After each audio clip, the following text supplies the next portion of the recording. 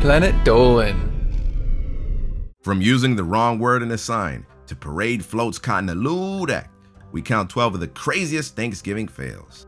Yeah, yeah, what's up, YouTube fans? Pringle the one in the building. How we doing today? Today, guys, I got some crazy new content for your face.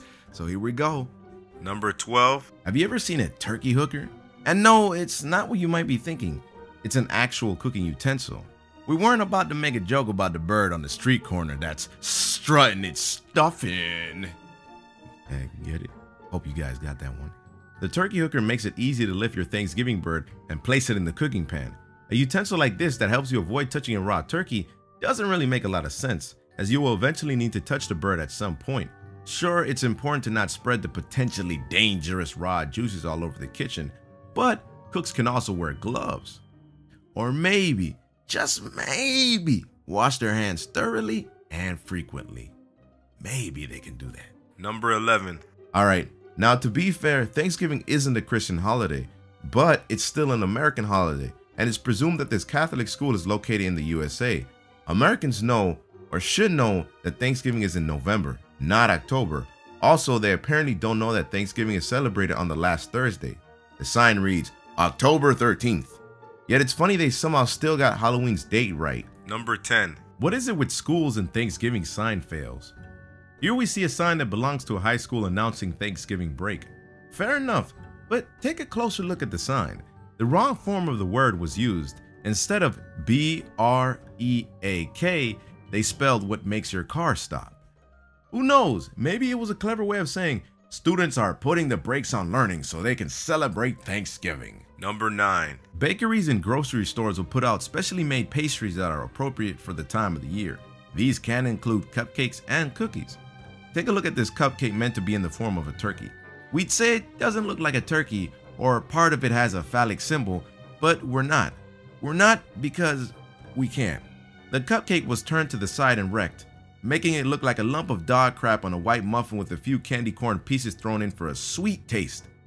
Though when taken out of its package, it probably looks like a turkey with its left side run over by a car. Number 8. Speaking of the products grocery store bakeries put out, here's another one it's obviously another baker's idea of a turkey, and it's actually not that bad. But take a closer look.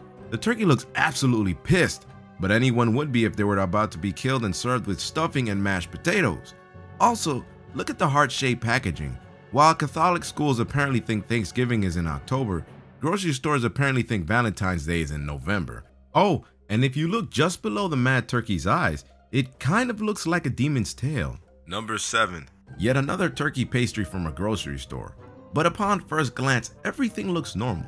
The pastry is in normal packaging, the turkey doesn't look pissed off, and well, it looks like a turkey. But there's something about this cake. Oh, is that a phallic symbol we see? If you look at its front, it appears the turkey has grown eyes and a beak on its junk. Upon further inspection, it doesn't even look finished. Don't turkeys have a waddle? Wait, no need to add a waddle to that. Mm, never mind. Number 6. There's no doubt that most stores should be closed on Thanksgiving Day, or any major holiday for that matter. People should spend these holidays with their loved ones. This business, though unclear what kind, was kind enough to be closed for Thanksgiving Day and Black Friday. For the most part, it's a normal looking sign, but read the word Thanksgiving, and what do you see? They decided to add an apostrophe between the K and S, which is confusing when you think about it. What belongs to the word thank?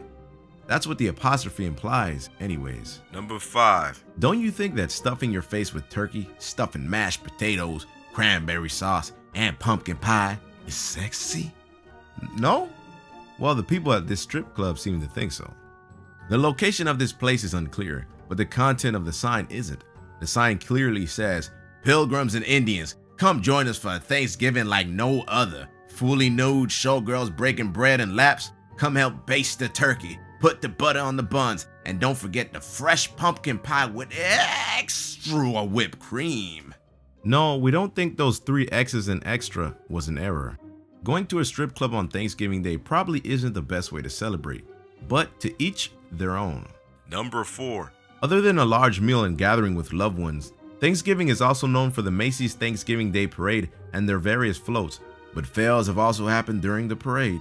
One year they decided to have a Pikachu float, Nothing wrong there, as there were probably many Pokemon fans watching it. It looks like Pikachu got a little tired from floating down the streets of New York City and literally crashed in the middle of the parade. It's not known how the float deflated.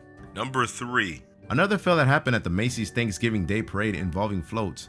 Only this was before the parade. That doesn't mean several people weren't there to see it. Spider-Man must love the USA. He fights crime and saves the country's citizens from harm. In fact, he loved his country so much he just had to give Uncle Sam a thorough rectal exam. Yeah, that's it. But all kidding aside, maybe next time the organizers were a little bit more aware of how the floats are organized before they become airborne.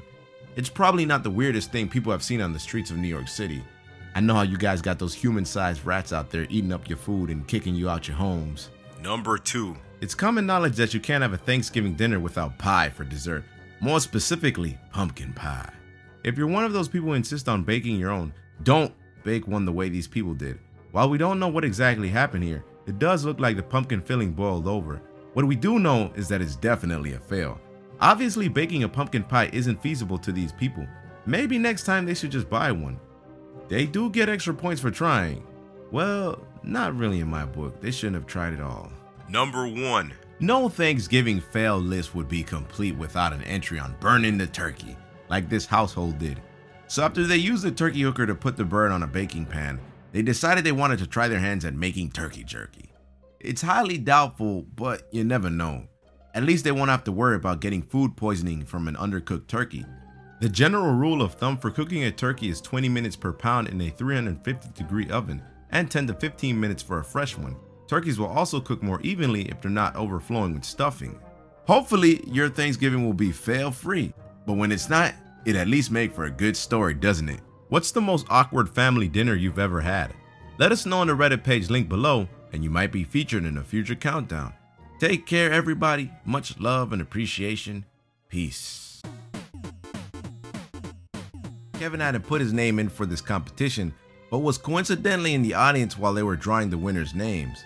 When they announced the name Kevin Lewis, he went on stage and bashfully accepted their large novelty check.